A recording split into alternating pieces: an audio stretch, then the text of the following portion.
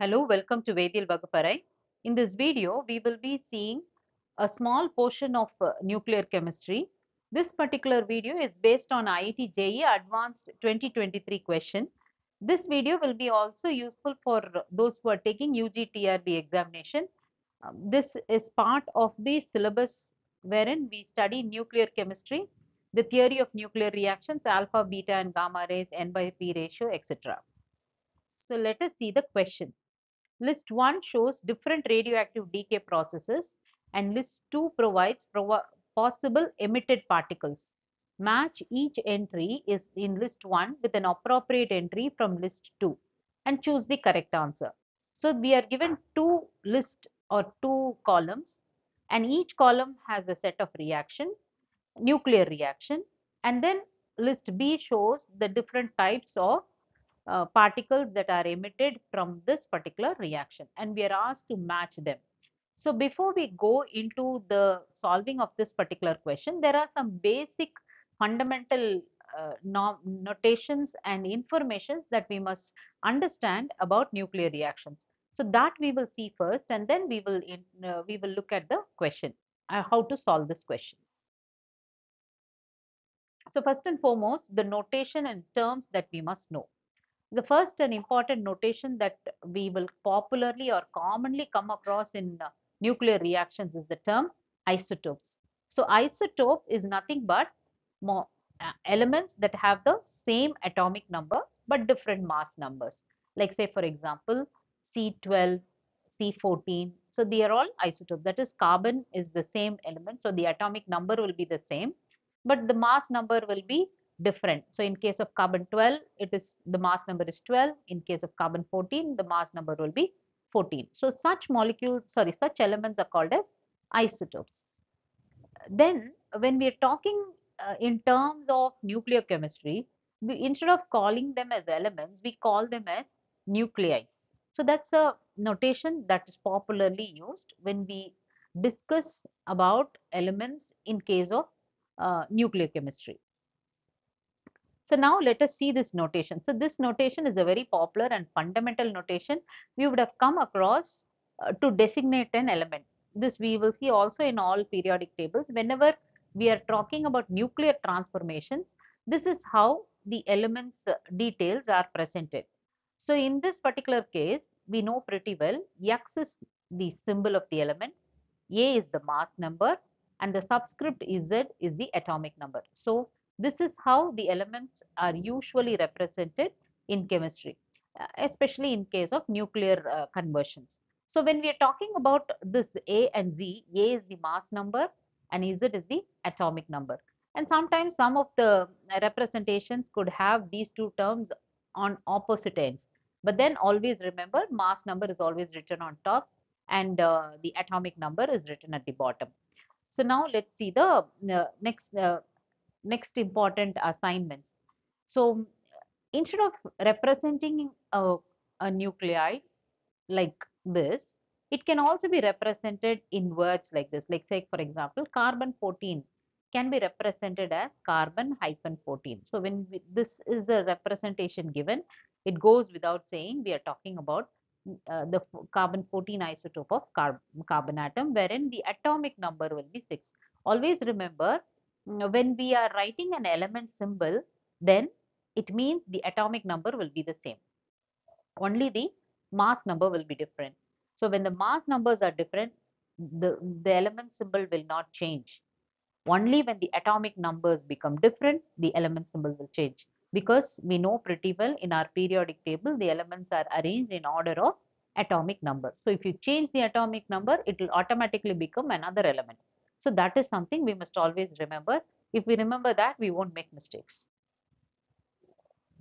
Another important thing that we must remember is the number of protons is equal to the atomic number. So we know atomic numbers are going to be different and usually, generally, the number of protons is equal to the atomic number and the number of electrons. So number of protons is equal to the number of electrons. So when I say atomic number is 6, its number of protons is 6 and its number of electrons is also 6. So this is how uh, an element is represented and recognized.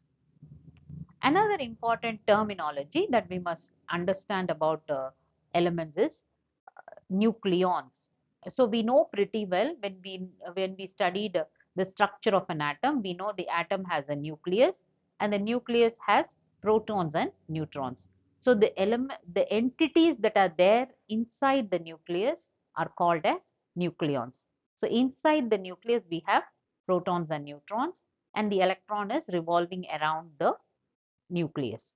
So the sum of Z is atomic number, N is number of neutrons. So the sum of protons and neutrons is equal to the atomic number, atomic mass, or you say mass number. So the mass number is equal to the sum of the protons and neutrons. So this is also another important thing that we must remember. So if in case we are having carbon 14 and we are having 6 as the atomic number, we know the number of neutrons will be 7.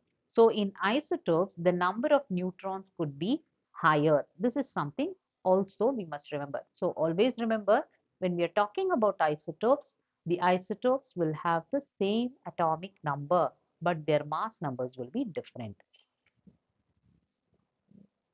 Another important uh, or the most uh, you know fundamental entity of nuclear chemistry itself is the neutron to proton ratio.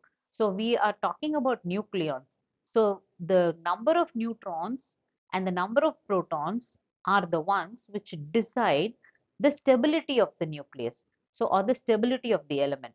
So the ratio of neutron to proton that is n by p will tell us whether a particular isotope whether a particular element having a particular mass number and atomic number will be stable or not. If it is unstable, it will either lose a proton or a neutron or an electron and then become stable. That is all. So whenever it is losing these uh, entities to become stable, then uh, the the element um, uh, this such a conversion is called as a nuclear reaction or a nuclear conversion. Okay, so let us see the equation. So the equation is nothing but the conversion reaction which I just mentioned. So let us uh, look at a conversion. Say for example, in this case. So this is U is uranium. Uranium's mass number is 238 and its atomic number is 92. So when uranium is combining with helium, helium is uh, alpha particle okay, is combining, this is a combining reaction, combining with helium and it is forming a product and it is giving out neutrons. So, we would want to know what is this element? How do we find this element? So, all like every reaction we where we have a balancing happening, the left hand side balances the right side.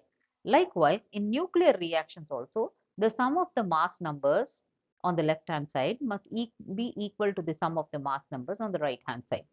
And the sum of atomic numbers on the left hand side must be equal to the sum of atomic numbers on the right hand side. Plus, of course, there could be some energy release which uh, may not uh, contribute to the number of uh, numbers in the superscripts and the subscripts. So, let us take this example. So, in this particular example, we see uranium 238 plus 4 will become um, will become 230 sorry 242 uh, but then there is a neutron also that is given out so but so that should be cancelled so that the sum answer or the net answer must be the same so that is the reason why we have shown here there is minus 1 and so the element must be 241 so only when it is 241, you add this 1, it will become 242 and it will match with the uh, left hand side of the equation. Likewise, on the uh, at the atomic number, you see it is 94.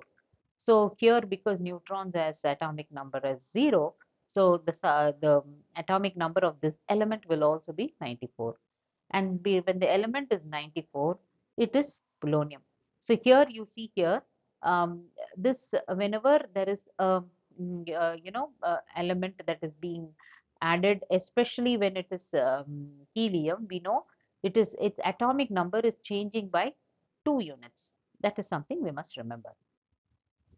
So this is how the product is written. This is how an equation. So unlike what I showed earlier, here the representation is given diagonally. So this is also one of the ways by which we will see nuclear reactions being represented. So here I have listed out various uh, emissions that happen in a nuclear reaction. So this is this is the fundamental uh, you know entity for radioactivity. So all elements would want to acquire stability. So because they want to acquire stability, either they will give away alpha particle or beta particle or gamma particle or positron or will do an electron capture. All these are possible ways in which the elements will undergo change to become stable. Ultimately, they would want to become stable. So when an element is undergoing alpha decay, we see it is giving away a helium nuclei. And as a result, we, what happens will be, there is a decrease in the mass number by 4 and decrease in atomic number by 2. This is an important finding that we must remember. So whenever there is an alpha decay, the atomic number will decrease by 2 and the mass number will decrease by 4. Similarly, in case of a beta decay, beta decay is nothing but electron emission. So electron has a charge of minus 1 and uh, it, it has no mass. So 0 is the mass. So what would happen will be the product form will be a one where the atomic number increases by 1. Okay, in case of alpha decay, the atomic number decreases by 2. In case of beta decay, the atomic number increases by 1, but there is no change in the mass number. Similarly, in case of gamma decay, a gamma decay is a neutral species. It doesn't have any charge, nor does it have any mass. So it causes a complete excitation of the nucleus. And this is also a, a very important radiative. All of these are um, radioactive uh, decays. And these radioactive decays can penetrate to different levels to different uh, uh, in different types of materials. So that we will see in other videos. But as of now, what we must remember is any element naturally would give away all these kind of um, you know uh, decays or radiations to attain stability. So that is why such species are called as radioactive elements. So in a case of a gamma decay, what we see is just a gamma radiation is given out and there is no change to the atomic number or mass number of the particle. Then we have two more uh, emissions and uh, one is called as a positron emission. A positron emission is just an opposite of a beta decay. Beta decay has minus uh, charge whereas a positron has a positive charge and so its atomic number we will see here will be minus 1. Here it is plus 1. In case of a positron, it will be minus 1. And uh, next is an electron capture. This electron capture is nothing but the inner orbit electron falls into the nucleus. So because it falls into the nucleus, the other outer electrons fall into the place, vacant place. And because it is falling into the vacant place, some energy is released. The energy that is released is in the form of X radiations. So X-ray emission is a classical example of an electron capture reaction. Again, what we see here, because it is an electron that is captured, it is like a positron, but it is not positron emission, it is electron capture, opposite. But then the change to the atomic number will be the same, like that of an electron capture. So these are all the various uh, type of radiative changes that an element will undergo to acquire stability. So let us see some examples. So in case of an alpha decay, we know helium is uh, the one that is given out and as a result, we will get the resulting product. So it will be, so the atomic name number changes from 92 to 90. So there are, uh, it, it moves two groups before.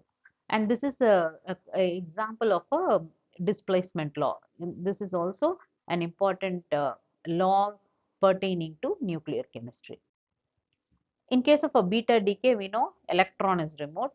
So uh, when we add up the number of uh, uh, uh, protons, sorry, the uh, yes, the number of protons, or you can say atomic number, we see the number becomes six. So what happens here is um, what was uh, six has become seven. So one of the neutron will become proton, and as a result, an electron will be released in case of a beta decay. Then in case of a gamma decay, we see there is no change to the atomic nor mass uh, numbers. Uh, but then the molecule, sorry, the element by itself will get excited and as a result, it will emit gamma radiations.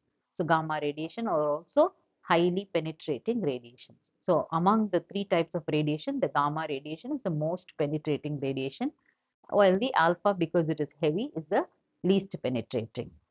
Because these don't have mass, they can penetrate better. Then coming to positron, again we see the we when you add up these uh, two uh, atomic numbers and in and the positron's uh, positive value, it adds up to the left hand side. So it is just the opposite of a beta decay. So in the beta decay, what we see is a neutron becomes a proton and so an electron is released. Whereas here, an uh, proton becomes a neutron. So the number of protons decreases and so a positron is emitted. The last thing is the electron capture. So this is all emissions. The radiations are coming out. Here, in case of electron capture, the radiate, the electron is falling into the nucleus. So because it has fallen into the nucleus, we have changes happening and X radiations are formed. So this is how all the different types of radiations occur and that result in the different kind of products and changes to the atomic and mass numbers is something which we have to remember when we are looking at these conversions. So now let us take an example of this conversion. So how do I uh, calculate? How do I find out whether what kind of radiation has occurred in a particular conversion?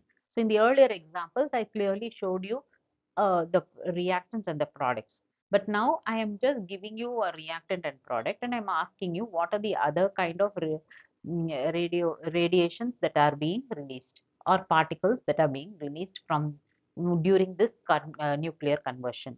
So what are the steps we can do for this? So first and foremost, let us assume that there are x and y number of alpha and beta particles also that are emitted with this particular reaction. So let us consider something like this because we know any radi radi radiative change will be associated with alpha, beta and gamma radiation. So uh, we are assuming that all the three radiations are happening. Gamma radiation is ignored because it is no change to the mass and mass number and atomic numbers. So next, first let us compare the changes to the mass number. So when we compare the changes to the mass number, we see that 238 is equal to 234 plus 4 into x 4x plus 0. So ultimately x value will be equal to 0. Similarly, when you compare the atomic numbers, we see the left hand side 92 is equal to 91 plus 2x minus 1 which is nothing but y is equal to 1. So now from this simplified calculation, we get to know the number of alpha particle is 1 and number of beta particle is 1. So the total uh, equation can be told as this particular conversion results along with one alpha particle and one beta particle. So this is the answer for this particular conversion. So now we will see for the others. I had given this uh, as the instance, the first uh, conversion as an example. Now let us see the second conversion. So when I show the second conversion, we, we have to just add alpha particle and then we have to add beta particle. So beta, so and then we have to, to total up and, and find out how many are formed. So in this particular uh, Q conversion, lead in conversion of lead, you see two, 214 um, definitely if it is uh, 214 on right hand side, it must be only one alpha particle. And so this is balanced. Now when we add the atomic numbers, we see already both cases it is 82. So the 2 of the alpha particle has to be neutralized by 2 electrons. So uh, it is 2 electrons. It should be 2 electrons, only then it will be a balanced one. So Q must give 1 alpha particle and 2 beta particle. And then coming to the next category, again we will add up alpha particle and then electron. So uh, uh, we keep uh, we uh, we see how it could be done. Again, 10 minus 6 is uh, 4. So 6 and 4 is matched up. So definitely it must be only one alpha particle. And uh, if it is only one alpha particle, the total atomic number adds to 84, but then it is only 81. So it has to be 3 minus, only then it will become 81. The next category again helium 4 and 4 plus the electron. So here again uh, when we see the conversion again the difference in the mass number is only 4. So definitely it is only one alpha particle. But the diff uh, but when we see uh, when we add up the values it is coming to only uh, 90. So but then the answer here atomic number is 91. So we have to add one. So it is not an electron here but the positron in the third case. So S has is due to one alpha and one beta particle. Then three beta particle is due to R. And then we have two electrons, is, so two beta particles and one alpha particle is due to Q. And then we have one alpha and one beta particle which is due to P. So the answer is A. P is 4, Q is 3, R is 2 and S is 1. So this is how we solve this particular question. Hope you understood. Thank you. Like and subscribe.